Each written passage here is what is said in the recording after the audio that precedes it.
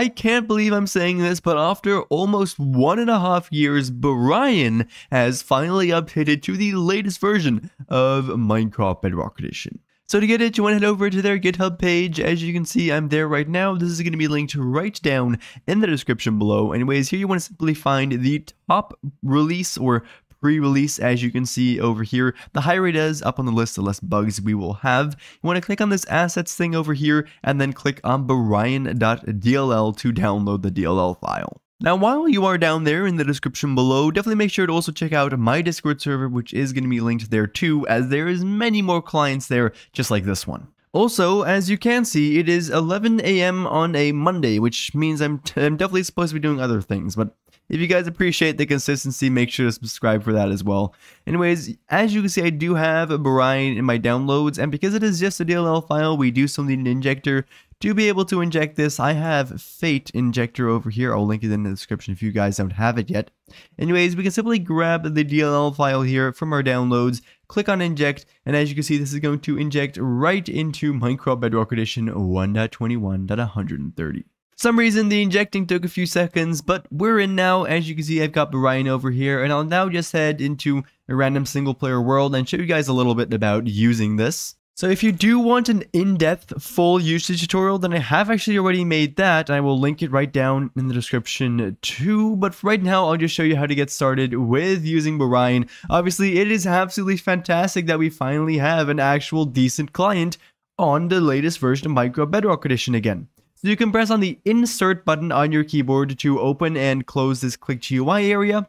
If you don't have an insert key or you want to rebind that, you can open up the chat, type in dot bind, click GUI, and then any key you want, for example F or G, and now the keybind of click GUI is being set to G, so I can press on G to open and close the click GUI area. That is really the most important part of this client. For the rest, in the GUI, you can click on all these utilities to turn them on, click on them once again to turn them off, and then you can actually right click on these as well for some customization menus, which are quite cool. And for the rest, it is literally as easy to use as that. So you can actually also hover above all of these utilities and get a description of exactly what they do in the bottom left, which is incredibly useful.